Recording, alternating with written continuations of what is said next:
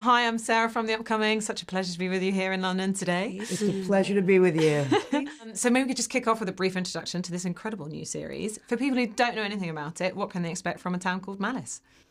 We, we look at each other like, ooh, there's so much. Yes. Excitement, Romance, glamour, neon soaked dreams. sex. Yes. the most stunning music. Yeah, Mullets and fantastic. perms. Yeah, and and uh, gorgeous cinematography. Phenomenal. Yeah. Gorgeous. And everyone will want to go on holiday after Yeah. watching it. You want to get out of England. And there's some se- yeah, exactly. And there's some serious laughs too. Yes. There's, it's the, a lot of it is really very funny. Big time. And of course, Nick Love, absolutely no stranger to kind of capturing this certain element of um, Britishness, of working class, kind of, and then particularly going back to the 80s. Um, what was it like working with him and, I don't know, nailing the, the accent? you know, what, what was it like um, being on set and, and kind of bringing his vision to life? Well, Nick is a phenomenal and a singular human being. I mean, first of all, he he comes from this world. He knows these people really well, um, and he loves them. And you can see that, you can feel that in his writing and in his storytelling. Um, there, there is nothing really, uh, I guess. Um, there's there's no uh, sort of uh, what's the word I'm looking for cynicism Yeah. in the way he writes about them at all. And so that's one of the wonderful things about this story and about working with him is that he's so so straightforward and so hilariously funny and so very who he is. And so I guess when you're working on something like this with him, you feel that confidence and you can sort of sit back and relax and let him do all that, uh, you know, the, the hard work. And you can just come out and just do your bit to say your lines, hopefully say them well. and you know wear your shoulder pads make sure they're they're they're not crooked. And uh, you know and that's it you know mm-hmm. I completely agree with Martha. We just adore Nick as well. And what was amazing by the end of this series, it felt like he was asking us kind of things about like, how would you feel now you've been playing this character for a few episodes? How do you mm-hmm. feel about them doing this or going in this way and that one? It was really nice to almost have like a slightly collaborative um, sort of storyline sort of mm-hmm. sessions by the end. And it was just incredible. He really got to know us through the characters and you started to see him really pair the two together so that when he was writing for the characters, he so had us in mind and saw what we were able to do on set. And I found that really beautiful and special. Yeah. I just adore him. He's phenomenal. it's true Yeah.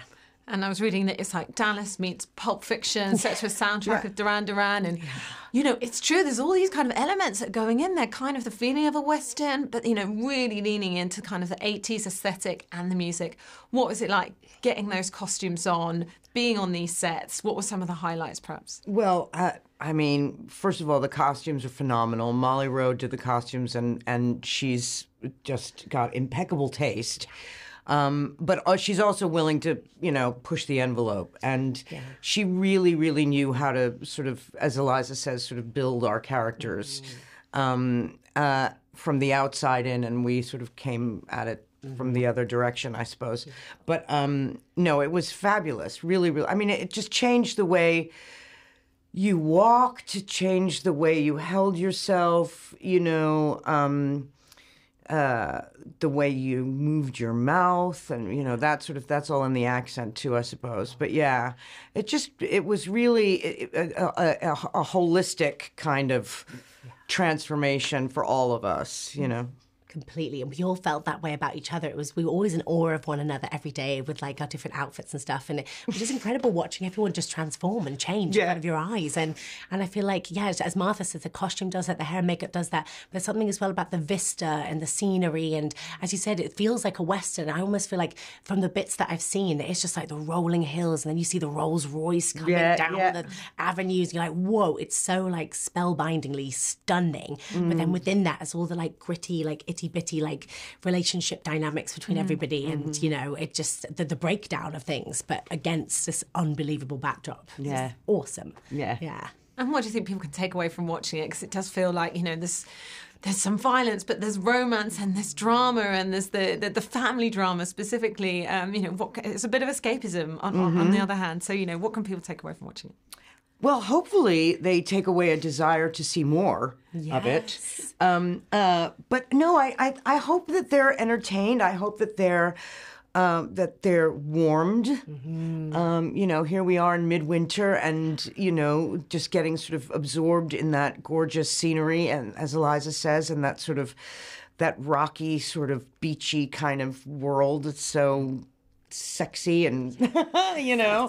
Um, um, so hopefully that but hopefully also they're you know they're moved and they're drawn in by these characters and they want you know they want to see these characters if not succeed then to get their comeuppance or to you know hopefully they're invested in it particularly in in jack and Tahirah's characters uh, you know I, I i just adore their relationship and and i think it's a very unusual one and one that you don't see very often in television I completely agree with Martha, 100%. And they're uh, sort of like bonnie and clyde for a new generation do you know That is so true, and that's so true. And it's, it's they're they're completely unique. And uh, as Martha said, I, I hope everyone falls in love with the family. And it's so interesting that uh, just when you think you work someone out, they completely change. But also, they are. They're all completely bold and like unique characters, and they all have so much to say. They've all got an amazing story to tell, and it's wonderful just investing in them, as you say. And yeah, and bring back the mullets, bring back the shoulder pads. That's what take away from that. Bring it back. Yes. Come on.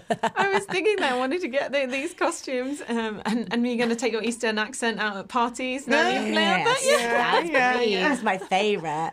Midmar's accent is oh, divine. And also bring back like neon yellow eyeshadow. Why yeah i know not? why not Come on. Love it. so much fun. i feel like victoria beckham's trying to do that She is. Yeah. She is. Come on, Vicky. Let's make it happen. yeah I'm out of time, but thank you so much for sharing all that with me. Cannot you. wait for everyone else to see this amazing series. Thank you Thanks so a much. lot. Thank Cheers. you. Love to meet you. Thanks. Cheers. Cheers.